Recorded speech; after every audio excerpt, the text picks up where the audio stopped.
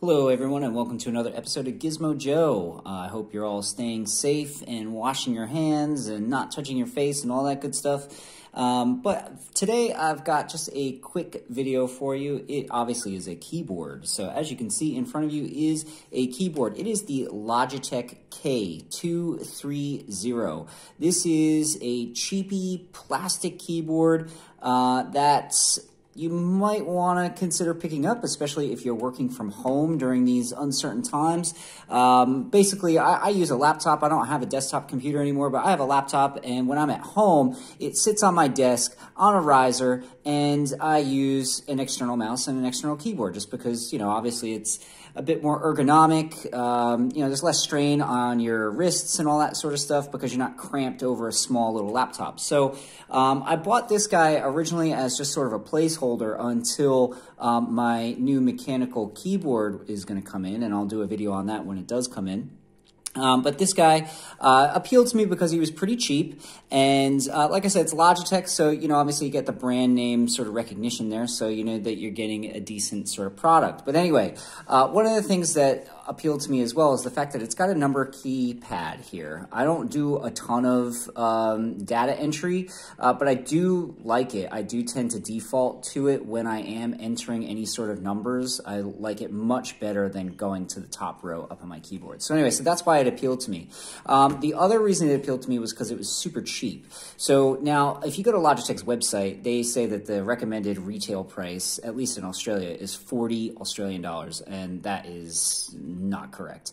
Uh, you go to Officeworks or any of the other retailers here in Australia, you can find this guy, and they're going to charge you probably about the same, to be honest with you. I think Officeworks, last time I checked it, was $37, uh, which to me is insane because, again, it's just a El Cheapo kind of uh, keyboard. There's nothing really special about it. Um, I picked this up on sale from Officeworks for $15. So if you can find this guy for about that price, I would say that's the sweet spot. 20 to 25 is getting up there in my opinion.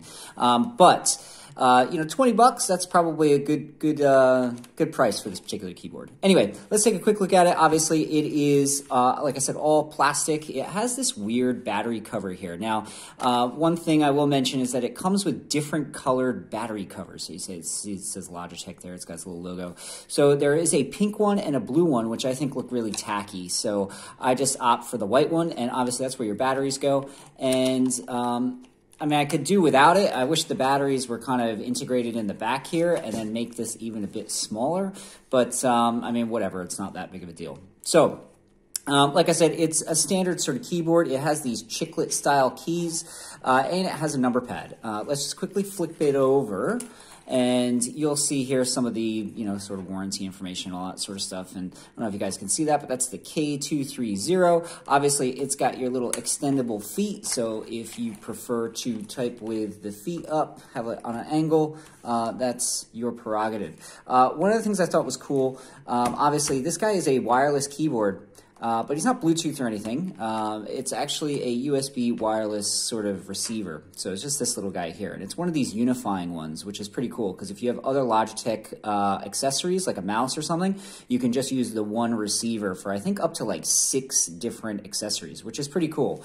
Uh, but what I like about this particular keyboard is that on the side here, I know you guys can't really see that, but it's got essentially a little slot for the USB receiver to slot right into. So if you want to pick this up and get going somewhere, uh, you can easily just pop that little receiver out and back in again, and you don't have to, and it's quite snug in there. It's not like it's going to fall out. Um, it is in there. So, uh, you know, not a bad sort of design. Now, uh, one of the things I will mention about this particular keyboard is even though it does have a number keypad, uh, it is quite compact. I would say that the uh, keyboard itself is probably about 30% smaller than a standard sort of keyboard. So you have these sort of chiclet keys. They do very remind, they remind me a lot of a laptop keyboard. Uh, however, they are a bit more raised and they do have a bit more travel in my opinion, especially compared to something say like a MacBook or whatever where the key keyboard doesn't feel particularly nice to type on. Uh, these have a bit of travel, not much, um, but you know, a bit more than your standard laptop keyboard. Um, as far as the keys are concerned, like I said, they have a bit of travel. Uh, they are quite quiet, so you can hear as I just, hopefully you can hear that, but uh, it is very quiet, um, so you're not going to disturb anybody using this. Um, the spacebar is probably the, the loudest key because it has that sort of springy, um, you know, return mechanism in there. So, uh, but other than that, all the other keys are very, very quiet. So um, that's, you know, a plus. Um, the keys themselves don't feel terrible to type on. I don't have the largest hands in the world, so I don't mind this more compact form factor. Some other people might find it a bit annoying because, again, it is um, you know a, bit smaller than your standard keyboard.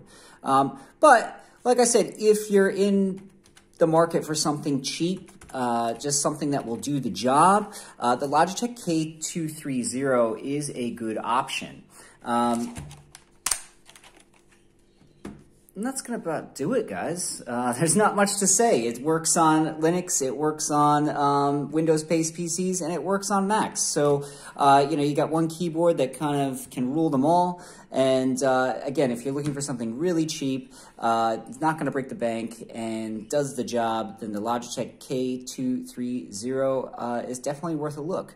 But like I said, I wouldn't pay more than 20, 25 bucks for it max. There's no way I would pay $37 full price, which is where you'll find it uh, sort of priced at here in Australia.